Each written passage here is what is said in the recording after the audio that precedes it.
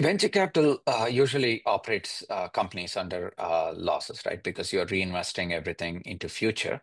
And that future either is coming in as people investments or technological investments or um, scaling up your go-to-market, right? You know, so usually it will it's one of these three areas that you're.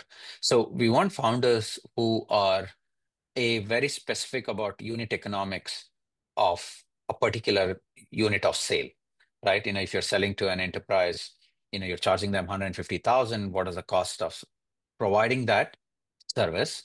Uh, what uh, so that means that what you need to deliver 10x value from from what you charge, and you need to be able to show that ROI to your customers, right? So that's where we focus a lot of our diligence around.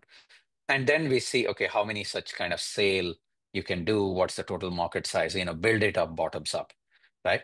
But if that justifies, we are okay operating the company under the loss, so that, but you have to be, eventually you have to kind of have a roadmap towards profitability. Because you cannot be perennially non-profitable, um, because as you get to closer to profitability, you you, you find different class of investors who can come in and take the company from that stage to the next stage, right? But it is okay in those early days to kind of operate the company. Uh, On the contrary, if you're kind of completely focused on bootstrapping yourself perennially, you you miss the market. Sure. You you you miss making those investments and somebody else will come and accelerate and you know build that uh, build that you know 10x advantage. You know let's say you're investing only a little in technological advancement, but the opportunity is there, somebody else is going to come and capitalize it.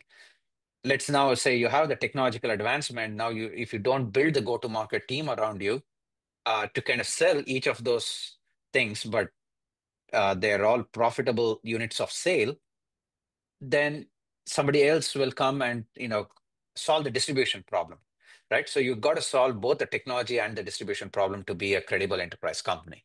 And that's where you have to invest ahead of time.